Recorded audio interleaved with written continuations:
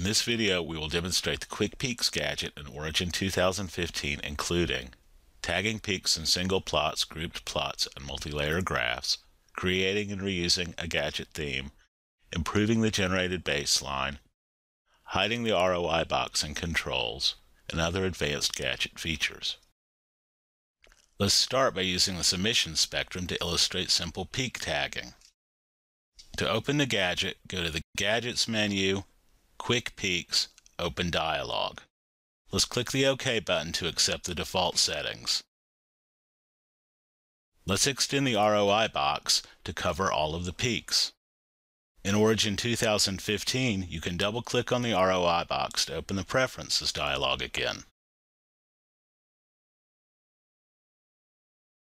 From the Baseline tab, we'll change our mode from second derivative to constant, the range to full plot range, and we'll set the constant to be minimum.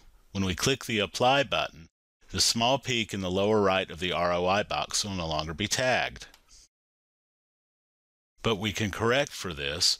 We'll go to the Find Peak tab, set our direction to positive, our local points to 3, and our threshold height percent to 10%. Now when we click on the Apply button, the peak will be tagged again.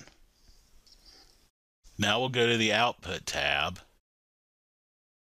and make sure our results are appended to a worksheet.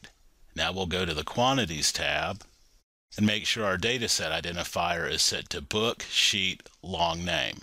We can click OK to close the dialog.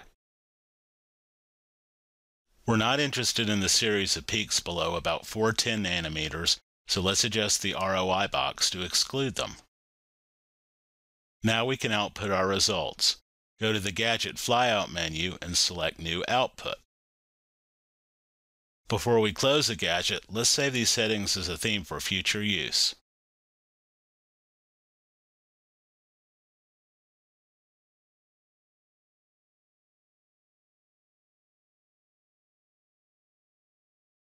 Now we can close the gadget. If we go to the Project Explorer, we can see a workbook has been created by the gadget. This workbook contains a worksheet holding all the data related to each of the peaks that the gadget has found. Let's close this workbook and close this graph. Now let's look at using the Quick Peaks gadget with a grouped plot. Let's open the gadget again from the Gadgets menu. We'll load the theme we just created into the gadget and click the OK button. We can see in the ROI box that the gadget is focused on the first plot in the group. However, we can change the selected plot by going to the Gadget Flyout menu, Change Data, and we'll change the plot.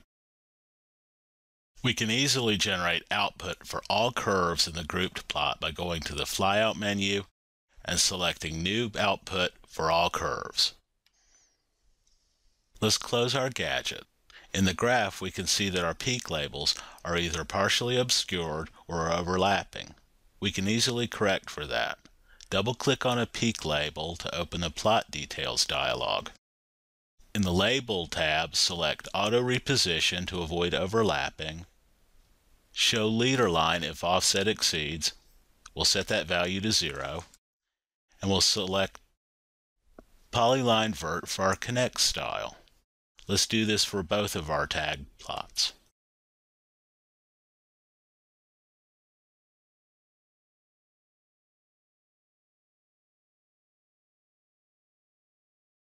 We can click the OK button. We can now reposition our labels. To select an individual label, hold down the Control key on the keyboard and single click in the label.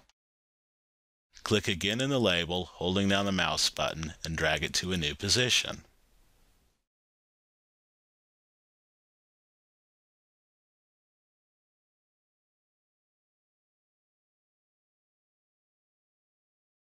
We can continue moving as many labels as we think is necessary. Let's close this graph. Now let's take a look at using the Quick Peaks gadget with multi-layer graphs. We'll open the gadget. From the Gadgets menu, select Quick Peaks, and we'll click on our theme name directly. The gadget with our theme settings has loaded into the first layer of the graph. To tag the peaks for all four layers in the graph, go to the Gadget flyout menu and select New Output for all layers.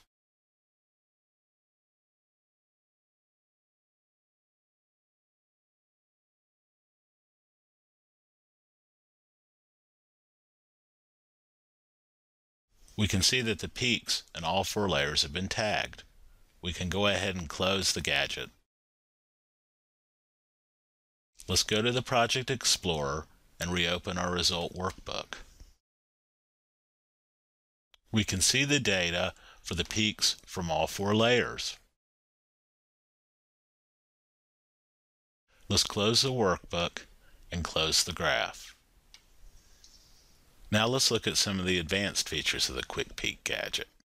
We go to the Gadgets menu, open the gadget with the default settings, and click the OK button. Let's try to improve the default baseline. From the Gadget Preferences, and from the Baseline tab, we'll keep our mode as second derivative, but we'll change the range to full plot range. For our smoothing method, we'll select Savitzky-Golay set our window size to 6 and our maximum anchor points to 16. When we click the Apply button, we see that the baseline has been improved. There's a new feature in Origin 2015 that allows us to temporarily hide the ROI box and gadget controls. If we click on the small button in the upper right corner of the graph window labeled H, we will see that the ROI box and gadget controls will be hidden while the gadget output remains visible on the graph. We can click the button again if we wish to show the gadget controls. The gadget also allows us to fit our peaks, switch to the more powerful peak analyzer, and subtract our baseline. We can also select individual peaks. We'll adjust the ROI box Click New Output. From the flyout menu, we can open our report worksheet. And we can see the peak has been listed in the sheet. Let's drag the ROI box to another peak and click New Output. We can see that peak has been included in the sheet. Finally, we can close our gadget. This concludes our demonstration of the Quick Peaks gadget in Origin 2015. Thank you for watching.